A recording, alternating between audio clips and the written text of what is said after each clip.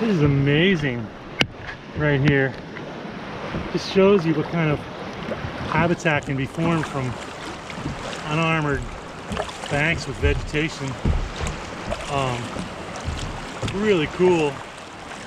Lots of complexity. And I can imagine a Puget Sound shoreline in some areas where, you know, this this was the norm. There was madrona and cedar and all kinds of trees just littering the shoreline and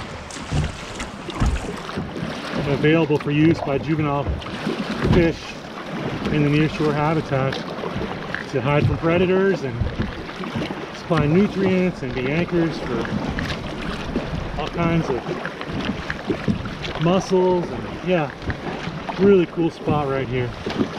Loving this